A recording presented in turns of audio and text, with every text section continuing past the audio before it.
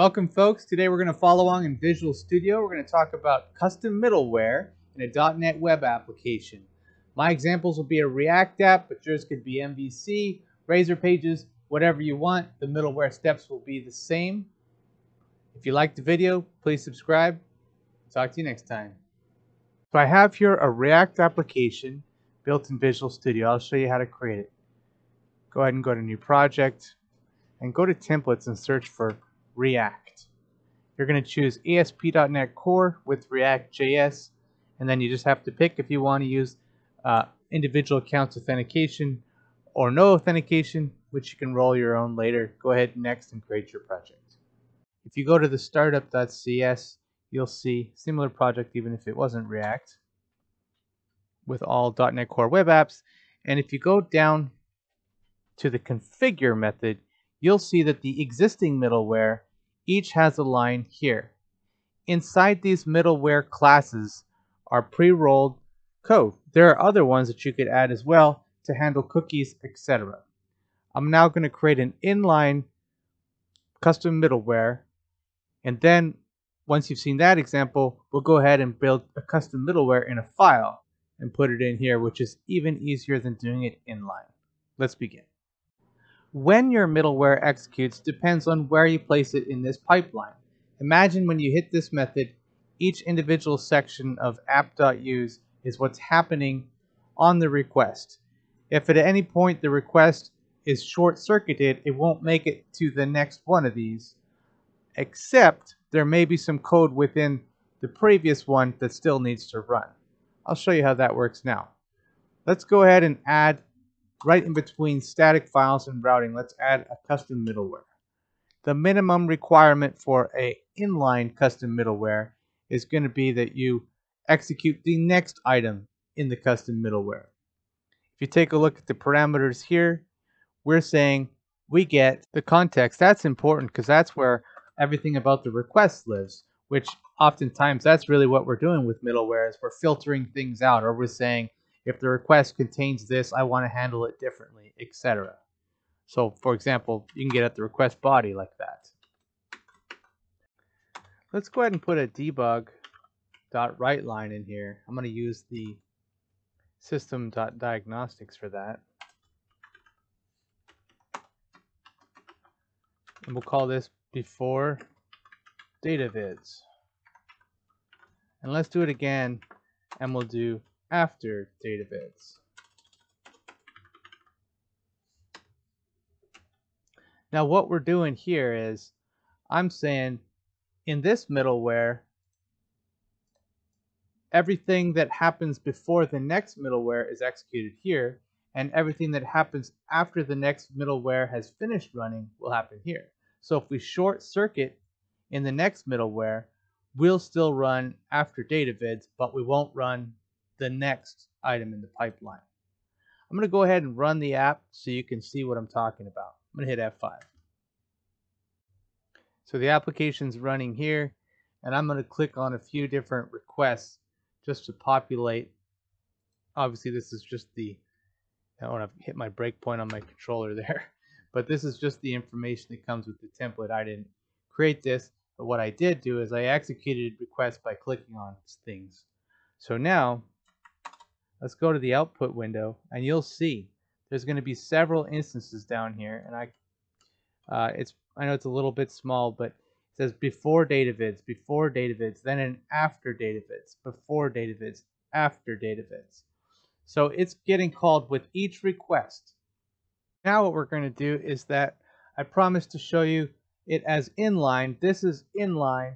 Let's show it to you as a file. So right click on your project and go ahead and go to add new item.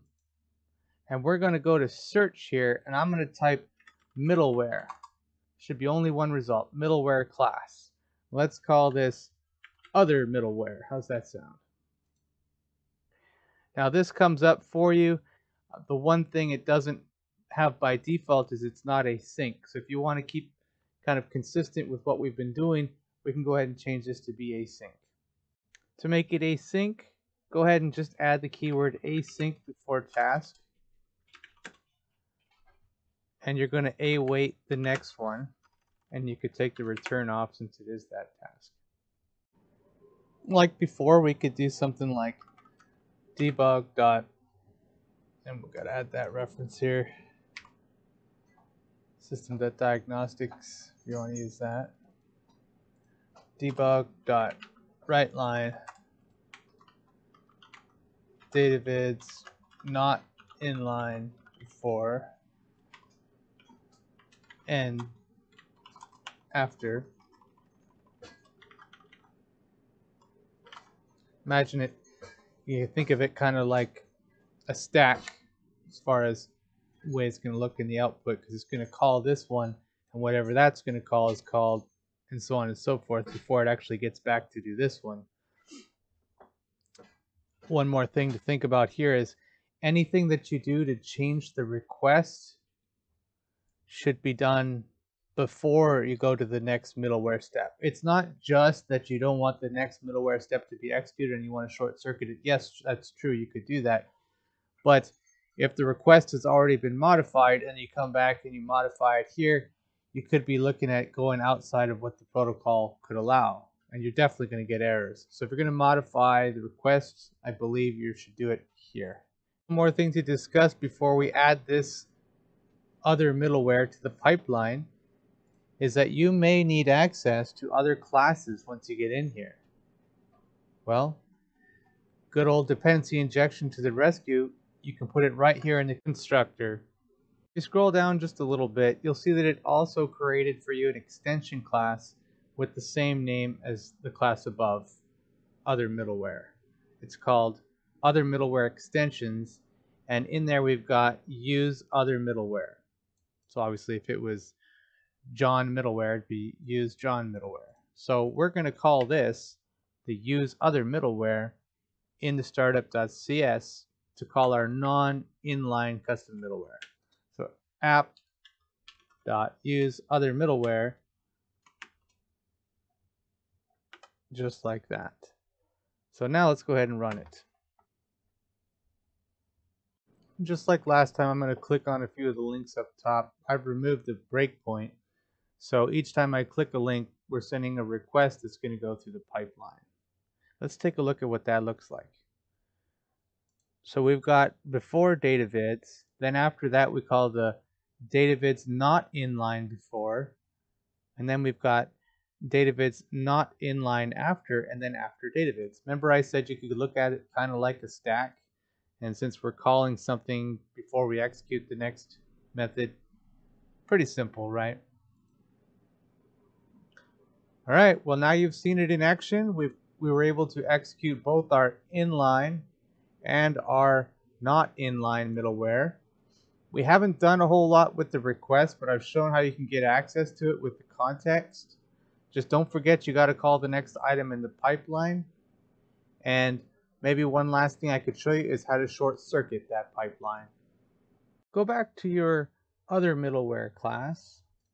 Let's just do a hypothetical example if the context request the path contains oh value sorry contains let's say the weather forecast because we know there's a weather forecast controller that comes with this template by default now because it's going to be coming in the request that we have with our pipeline we need to change this to be lowercase we've seen that in other .NET core web app. So it's always best to keep that lowercase to prevent any mm, errors. And then let's go ahead and say we're going to, instead of running the next, because all you really have to do to short circuit it is just don't call next. So we'll put that in an else statement so we make sure we do not call that if, if it's a weather forecast. So let's go ahead and go to the context, but instead of looking at the request, we're going to modify the response.